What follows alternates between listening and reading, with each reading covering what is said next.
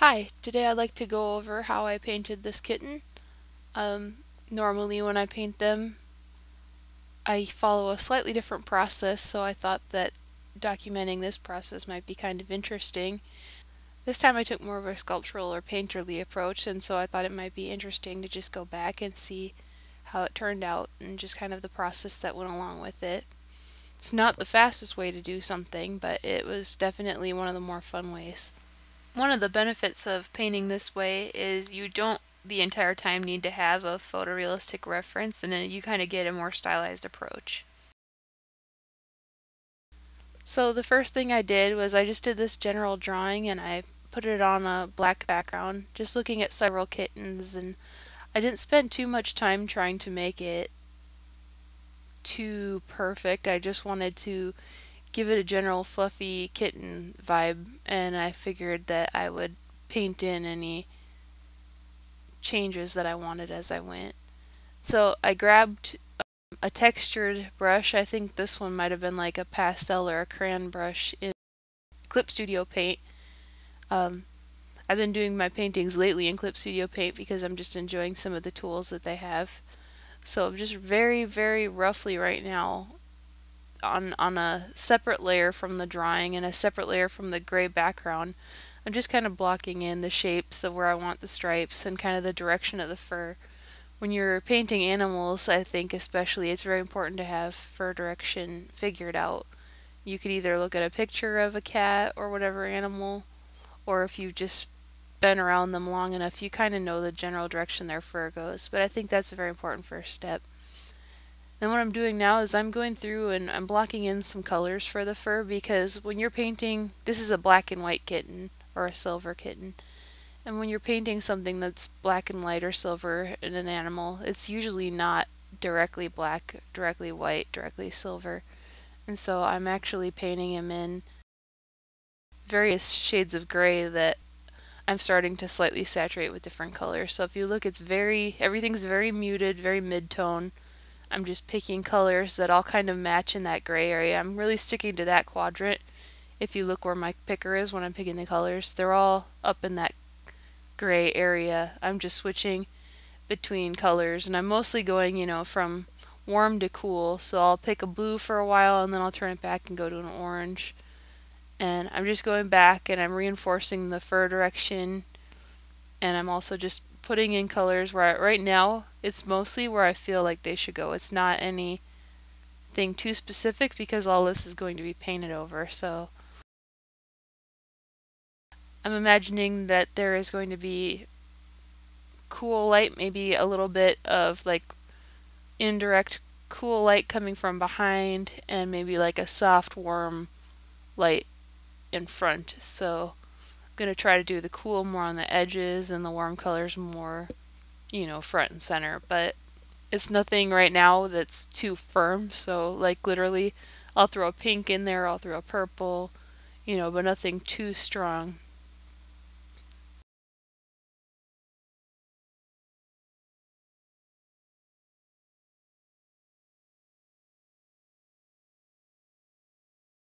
Not a race for sure when you're doing it this way. You know, I'll go back and I'll start lightening it up a little, but not too much. Everything's pretty much mid-tones. I might, right, right here, I'm starting to brighten it up a little bit.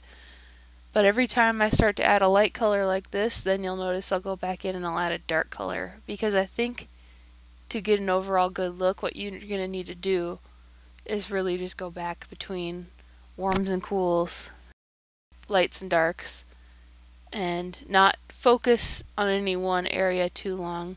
Both, I wouldn't want to zoom in and focus on like the paw or the mouth for too long at this stage, but I also wouldn't want to focus on one set of colors for too long either. I wouldn't want to just go in and only shade the darks the entire time and then go in and do the lights. Just like I wouldn't want to you know, go in and just draw the fur in one particular spot. I want to make everything just kind of even and sit together nice as a composition. So I just went in and I darkened a bunch of things. I'm darkening the stripes and I'm reinforcing some of the shadows. And so probably what I'll do right after this is I'm going to go in and I'm going to lighten things kind of balance it back out because I don't want to stray too far from the initial grays and colors right now. So yeah, now I just switched to a warmer dark. It's still a dark, but I'm just reinforcing some of the front shadows with that. Like the before it was a cooler color, and then here I just went in with a light see, and I'm kind of trying to balance it back out, and I'm bringing back out some of the highlights.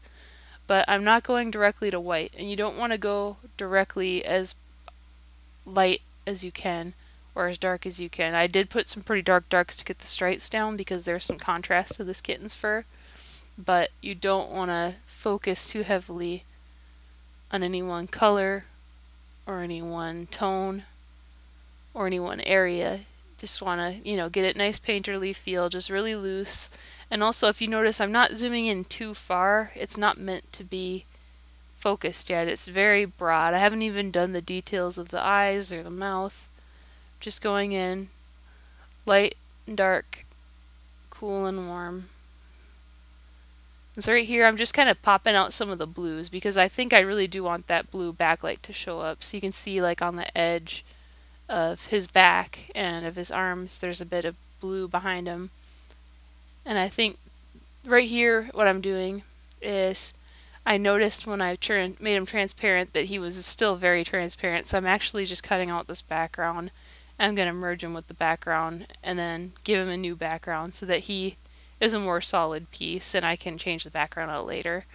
Because it's important for me too to be able to flip-flop between backgrounds and make sure the colors are working, not just in this gray tone, but in whites and blacks.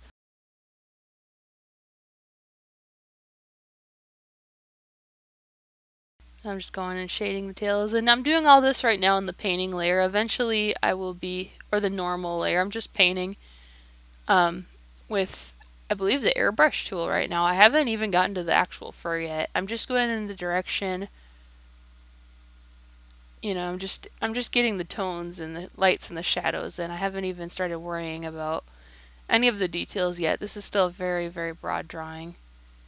Um, now I'm starting to just just barely block in his nose there and now I'm starting to actually paint with the paint brushes and what I like about the oil brushes in Clip Studio Paint is I just think they blend really nice and I feel like it's more of a way that I can feel like I'm painting and so the one that I grabbed right now it's like a solid multiple lines and I'm just using that to really push that fur direction as like a template for me later.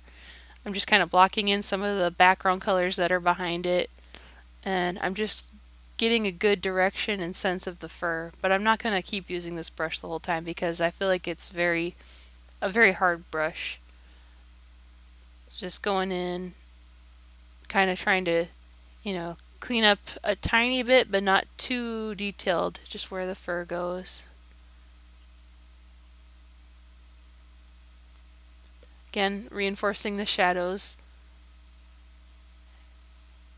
If you work in grays like this, you just go back and forth. You don't do anything too spontaneous. You just slowly, gradually build up the shadows, build up the light, build up the shadows, build up the light. Just kind of work your way out from gray to out. And so here I've switched over to a much softer oil brush, and this one also has multiple um, lines and that way I can get more fur at once. But see, I'm having to mess with the settings here because I don't want it to blend too much, but I definitely want to give it a little bit more of a blended property. Nice thing about Clip Studio Paint is when you're painting, it actually will blend your painting color with the background color. And there's only a certain amount, like actual paint, there's a certain amount that your color will spread. And so sometimes to fix that, like now I've, I've opened up a new layer and I'm not even painting on my initial painting layer, I'm painting on a new layer. And I'll go back and forth and I'll do that a lot.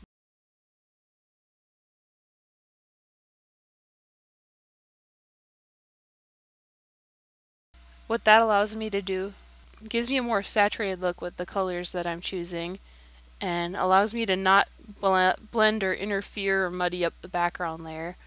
And so I can paint on this new layer and get the new patterns and colors down. And if they're too strong, I'm not afraid to mess with the opacity. So you'll also see me flipping it on and off back and forth and seeing if it works with the below layer and if it looked better before and if I need to reduce the opacity or start over completely.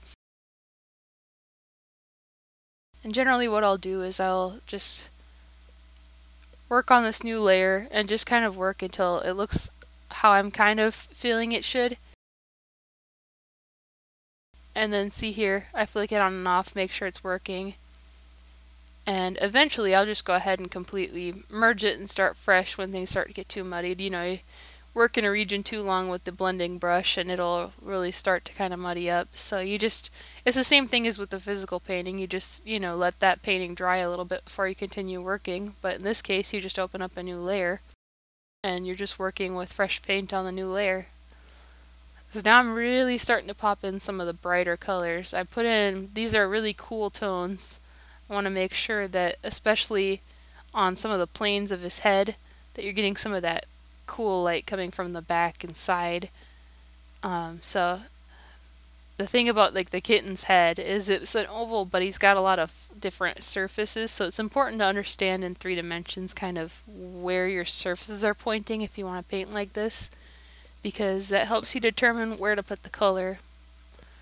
And so that's why the very top of his head has a bit of a cooler light because I'm imagining that the surfaces are kind of pointing out in the direction that the cooler light's coming from or the front of his head is pointing in the direction of the softer warm light. And so the front of his head and the front of his chest and the front of his feet are going to have a lot more warm light than the sides of him. But I also want to make sure that I'm getting the shadows, you know, that are because he's a three-dimensional form, and so as the the light, the warm light in the front is tapering off, he's still going to have shadows off to the side of him. And then because I did all those light layers, now I'm going and reinforcing the shadows again.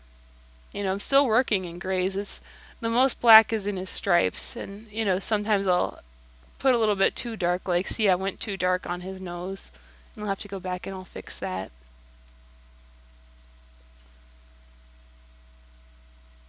Then balancing it out, I'm going back in and I'm putting some of the cool light back on the sides.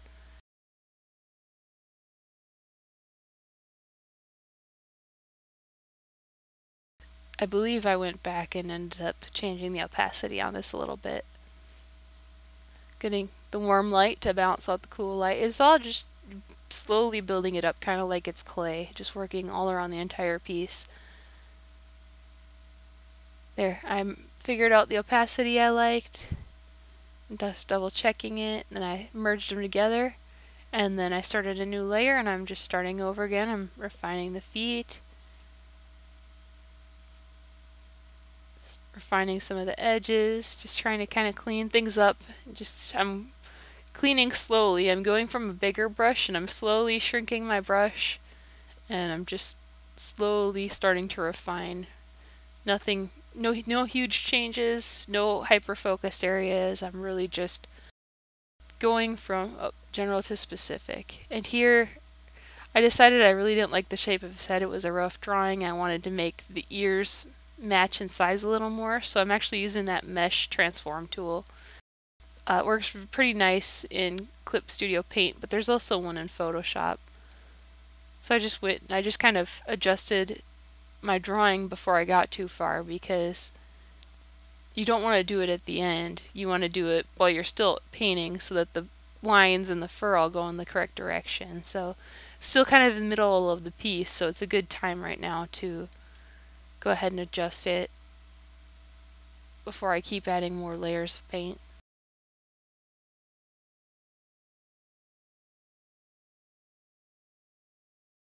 See, I'm starting to define the face a little bit, but still not overly specific, just going in. And it's important to get the shapes from broad to specific in this type of painting in the way I'm doing it right now.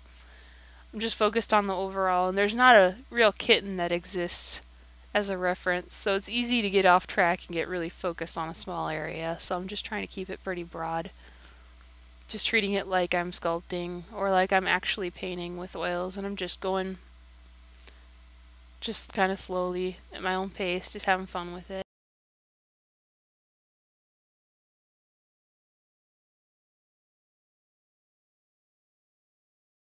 getting those shadows in the entire arm because that arm is three-dimensional and so the light would taper off on the side of the arm from that front light. So I'm starting to both in the spots and in the in the front of the arm I'm starting to add a little shadow. And I keep going in and cleaning up those spots and that's because I keep messing with them as I go through and I get the fur around them. Don't want to, you know, get too attached to any of your lines early on because you're going to paint over them if you're doing it this way. Really just trying to get kind of an illustrative, you know, stylized drawing this time. I'm not going for specific realism or anything like that. So I can take my time. Adding a little bit of a cool purplish pink in there. Just kind of see how it looks, kind of make sure it's a little bit on the edges where the light might be kind of reflecting or you get some secondary bounce from maybe the floor or the other parts of the fur, you know, merging and just checking everything. And these, I believe these are all still normal layers. I'm still working just like I'm painting.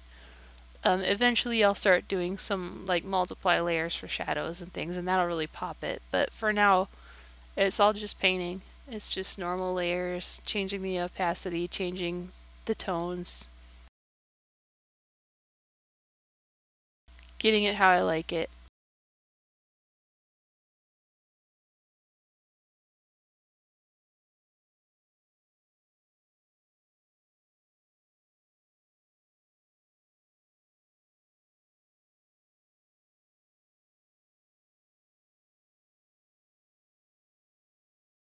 So here I'm starting to actually block in the face and the mouth a little bit.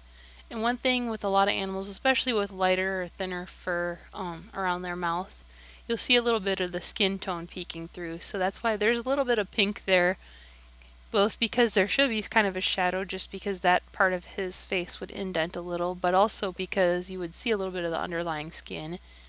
So he's got a little bit of pink by his lips and a little bit of pink under his nose. And I'll just blend that with the fur color.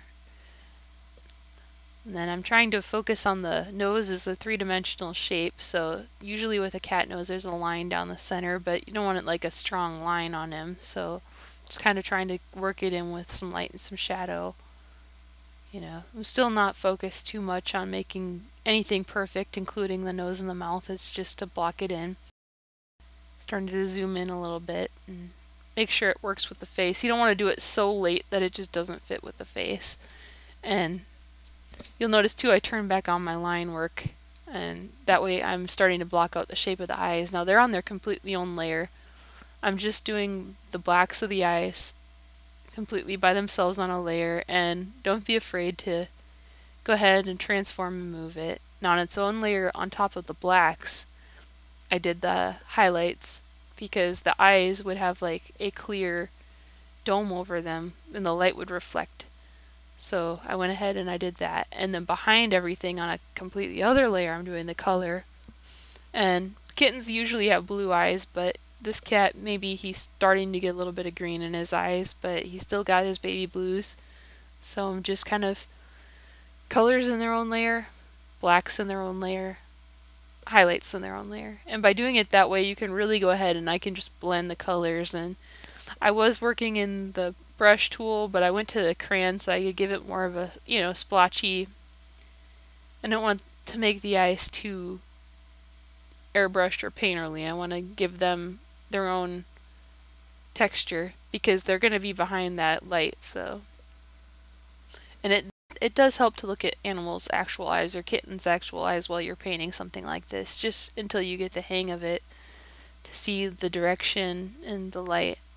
And see here, I'm going ahead and I'm just kind of, you know, cleaning things up, transforming things, making sure when I zoom back out that they're pointing at the same direction. I feel like eyes are very important because when people look at your painting, they do look at your eyes. People make eye contact and I believe even with an animal or a painting, they're going to be looking at the eyes. So it's important to kind of make them believable, you know, a little bit three-dimensional and at least pointing in the same direction. So don't be afraid to go ahead and transform that layer. You know, you can paint everything, but at the end of the day, if you're working digitally, you have the tools to fix it. So do. So I think for those, they're generally, they were in the shape that I kind of wanted, so I went ahead and just started going back to the fur.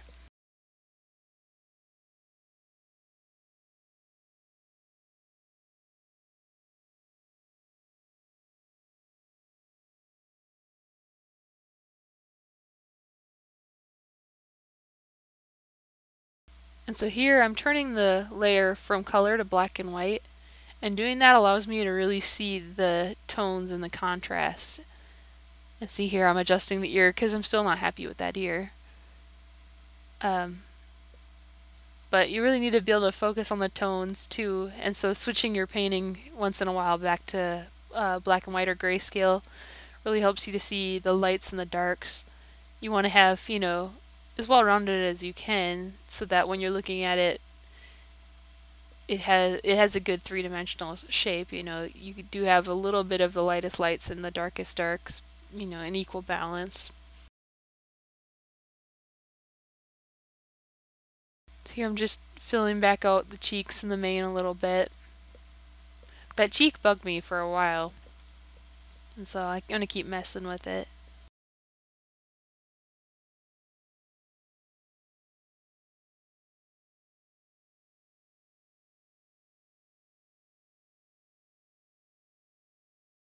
And black and white again, just kind of peeking at it. And now I'm really kind of messing with his back. I don't want to get too specific with his back because I want it to be farther from our view. So what I want the eye to be focused on is the face and the fluffy chest and I don't really care quite as much about the back because in real life you wouldn't be looking at necessarily the kitten in his entirety. You'd be looking and focusing really probably on his face. And so things that are farther away from the eye or the lens of the camera would be a little bit out of focus. I do want to make sure his back looks good, so that if you do look at his back, it doesn't look bad, but I don't want to put the detail into his back that I'm putting into his face and things. So, see, I'll go and I'll clean it up, but I'm not going to hyper focus on it or anything.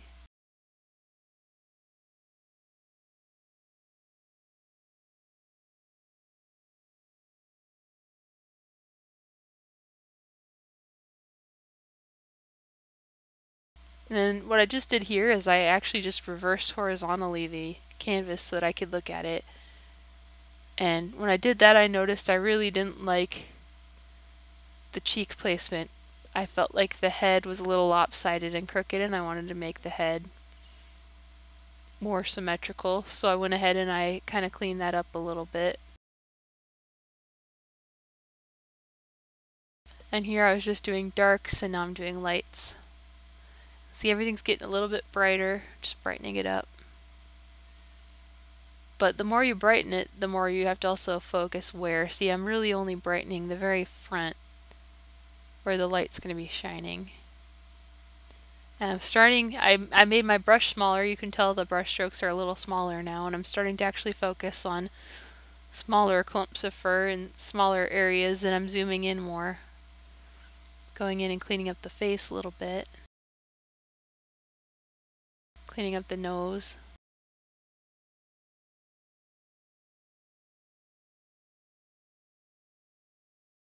I actually switched to a different background color for a while. And see, by seeing that, I noticed that there's kind of a gap there in the ear. Flipping him back and forth helps too. But yeah, I just cleaned up that ear where that was from when I transformed it earlier. Again, I'm really focusing on getting his face more symmetrical. So I kind of mess with the cheeks again here. I'm going to do that a couple of times until flipping him back and forth he looks normal. And then I'm quickly adding, he's, his head was becoming detached, so I'm adding back in his little mane. You know, I have to put back in some of the tones from the rest of it.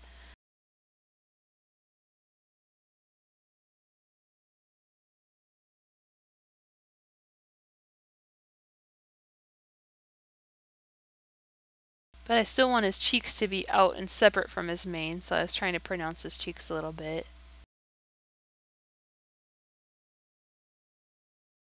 I'm going ahead and putting in, you know, shadow under his chin.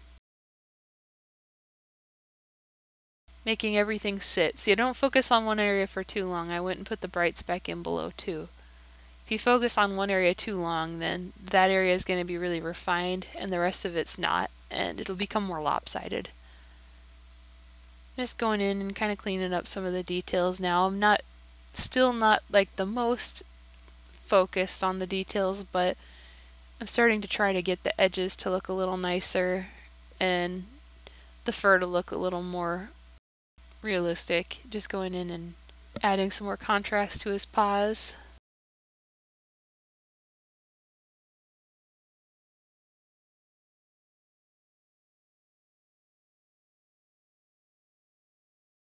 More contrast to his nose. So just just general to specific. Then flipping him again, and I still don't like his cheek. So I went in and I'm adjusting his cheek again. I'm trying to get it more three-dimensional. And then I went back in and I'm cleaning up his feet a little, trying to give them more shape.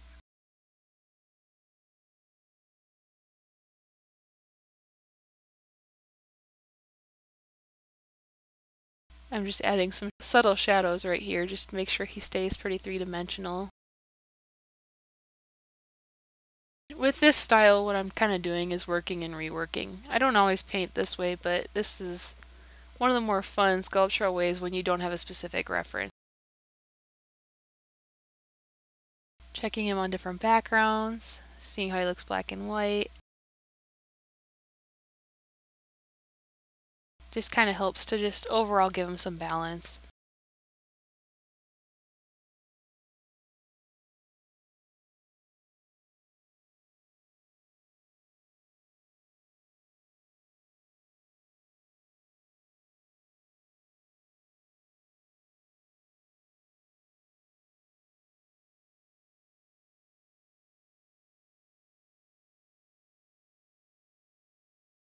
You don't have to just do cool tones for some of the shadows either. Like in the warmer light areas, you can use warmer tones. And so I'm going through and I was just using like a pinkish orange, you know, for some of the shadow areas, especially up front where there's going to be a much warmer light shining on him. But then I go back and I balance that out with again the cool tones from the side or the backlight and the shadows and so the the sides of them I'm really pumping back out now. A bit more of a saturated color and that's the thing too you work from desaturated to saturated so I can start to bring out kind of some crazy colors some like brighter purples and brighter blues and it should all look natural because they're all connected by those grays and those medium tones. So it really helps you to kind of go a little crazy if you can start out being pretty gentle and general with it.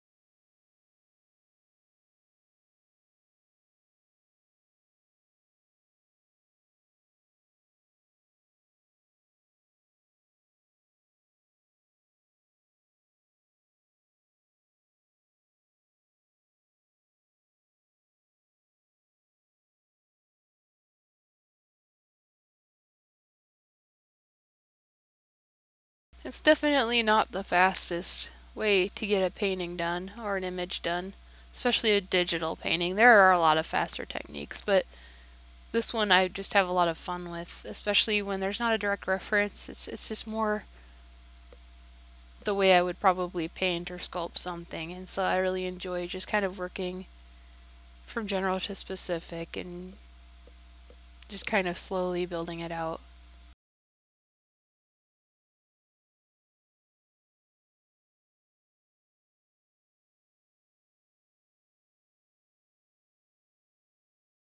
There's some pretty bright colors right there, some really bright tones. Just really popping some of the tips of the fur, and tips of the nose, the bridge of the nose a little bit.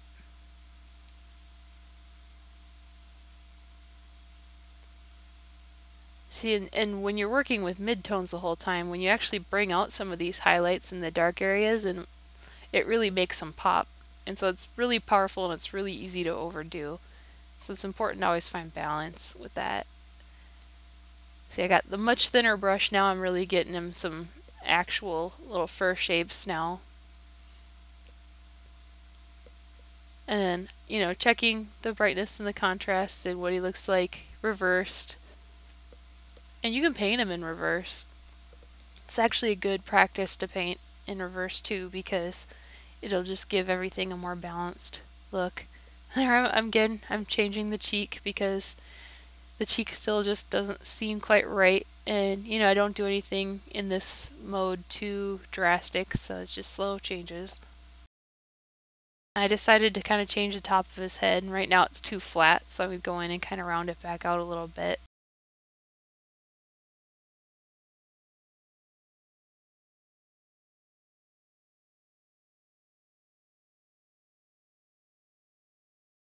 Cleaning up some of the fur.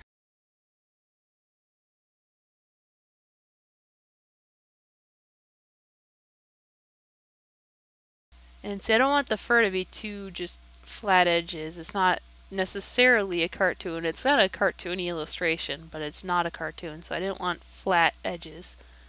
See, I'll go back through and I'll put in a little bit of fur, but sometimes I, when I'm starting out, I go a little overboard on the fur, so I'll go ahead and clean that up.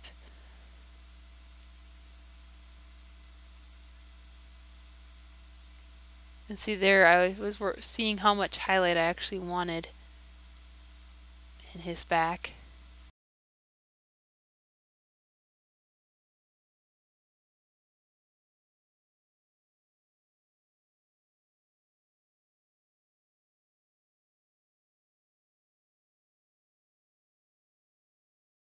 Then I flipped him back the normal way. And I'm actually, again, transforming, just trying to get his, the shape of his head the way I want. And this really can be corrected early on if you spend more time on the drawing, but I just wanted to jump right into painting. I'd want him to kind of have a little bit of a stylized feel. I didn't want him too realistic. So I didn't want to, you know, box myself in too hard with my drawing. And so paying the price then while painting, trying to make sure that his shapes, you know, line up realistically. And here I'm actually starting to work with the special layers. I'm using the color dodge and that's for the highlights. You pick like a warm bright tone for the light and use a color dodge. And then I'll even go in and I will on a different layer um, pick like a cool dark tone and use that on the multiply. See and when you go back and forth and do that, it really accentuates the shadows and the light. It's very powerful, it's very easy to overdo, but it also is nice because when you're using like for instance the multiply tool, it'll darken all of the colors accordingly. It won't just like apply black to them, you know, it'll coolly darken the colors and it's very nice way to very quickly and dramatically change the lighting of your piece. And so I wait toward till towards the end a little bit to use these tools, but they start to look pretty good. And then what you have to do too when you're merging them in Clip Studio, you have to do one at a time. So like the one closest to your paint layer, that's when you gotta merge first. Because if you try to merge the two adjustment layers, what's gonna end up happening is it'll just turn into the second layer. So if I tried to merge a multiply with a color dodge, it's just going to turn into a color dodge layer and all of your work that you did on the multiply is not going to be there anymore correctly. It'll turn into a color dodge. So you have to just be careful when you're merging these layers or when you're finishing your piece that you're doing it in a correct order. So it's best to only work a couple layers at a time with this and then just go ahead and merge a couple layers at a time, merge.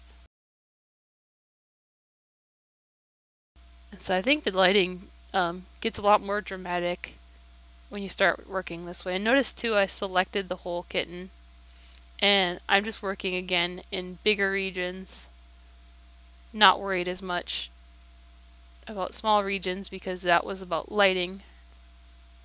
And here I'm still not happy with that cheek. And so I tried just selecting his head. I just I, I made a copy of the layer so I wouldn't mess up the original and I just took his head literally chopped his head off and I'm adjusting it so that I can just get a more symmetrical look. As really that's just a drawing thing. I didn't focus enough on the drawing and I wanted to make sure that he didn't look too silly.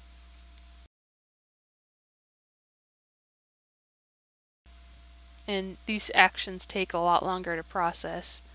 So now I'm just going back and forth layer by layer, making sure it looks the way I want. I just merged them back together. I literally cut off the head of the old layer and I merged it to the new layer. And the reason I did that is it was much easier then to go ahead and clean up the lines of the neck where the head was detached.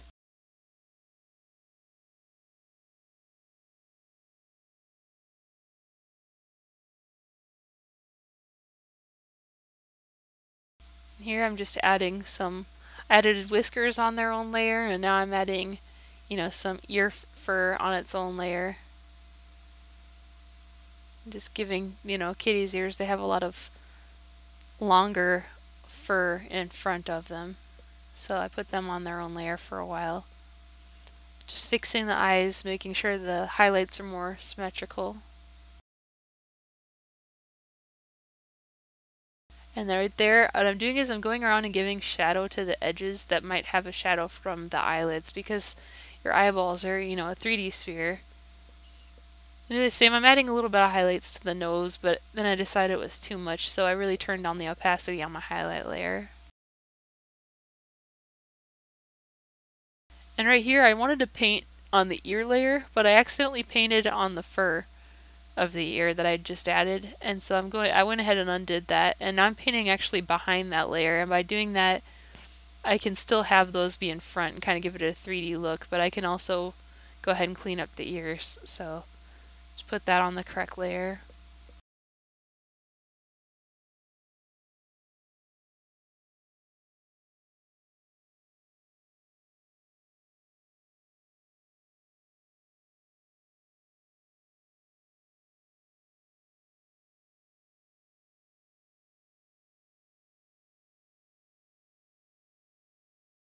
I noticed, you know, a little bit of area that needed some cleanup from one of the earlier transforms. I'm looking at it reversed again, and there I am cleaning up the cheek again, just can't get that the way I want it quite.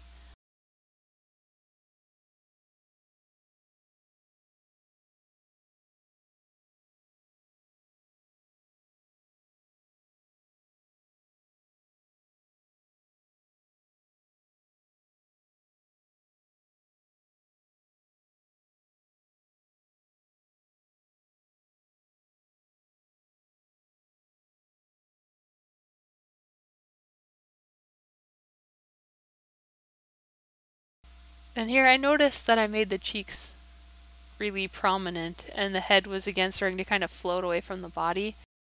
And so right here I'm just kind of checking if I put in another layer of fur as if it's part of his mane attaching his head to his neck just kind of what that would look like. I'm turning on and off the layer a lot, changing the opacity, just making sure that I'm doing the right thing before I commit. Then I had to go ahead and quickly work from medium to dark to light and back and forth on that layer first since I didn't do it at the same time I did everything else. You know, then it's a little bit more work to make it actually fit with the rest of them. So I'm just going ahead and just pretending he's got some like little chin hairs and some little under his head hairs that are starting to kind of turn into his mane. And just to make everything fit brightening up his mane again, giving him highlights, you know, all over. You don't just stick to one area. I was pretty happy with it. Just clean it up a little bit.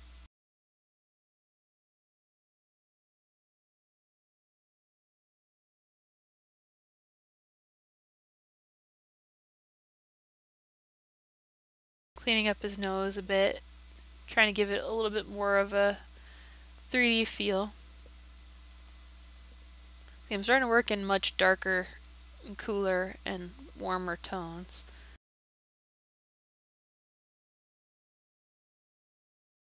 Here I'm trying to just give each toe a little bit more dimension.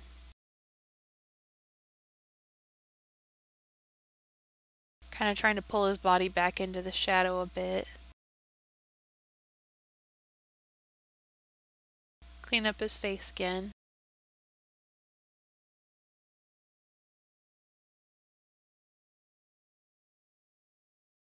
And here I'm just, I just decided to go with some pretty saturated colors for the backlight. You know, I just kind of wanted some light kind of bouncing off, like then somewhere in the distance there's a much harder, cooler light. So, you know, I'll go in and I'll oversaturate it and then I'll turn it down and I'll just play with it. Put pop in some blues and some lights. And then I gotta kind of bounce them throughout the fur because light doesn't just stay necessarily in one area.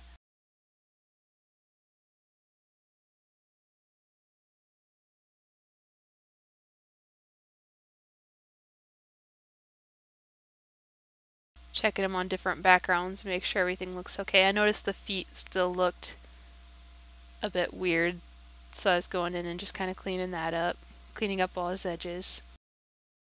This last part is really details and cleanup. Just making sure nothing is too out of place so that if he goes on a shirt or something, he doesn't look weird.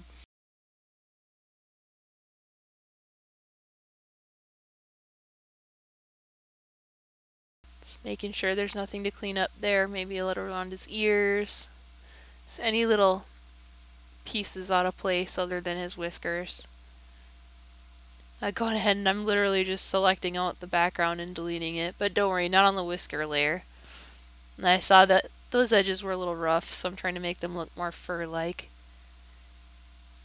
And then on different colors, I'm just double checking his back and everything, just making sure there's no pieces outside of the image, but there's also the, just the edges look good.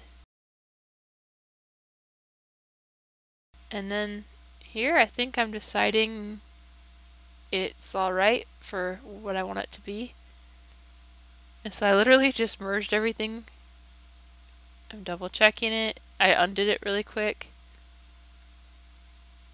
And I think pretty much yeah, just cleaning up the little bit of edges, make them more believable. And yep, that's it. So thank you for watching. Um, hope you enjoyed this process.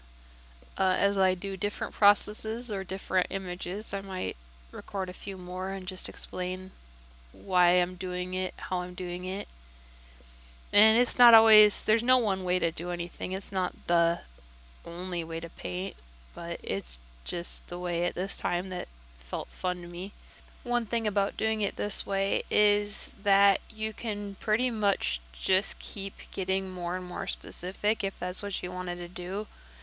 I mean, there's diminishing returns, so it ends up just taking you hours to have what zoomed out looks like almost no progress. So there's just a point where you just decide to stop. But in that same breath, it kind of is nice because you can keep going until you're happy with the piece. So thanks for watching and I'll talk to you next time.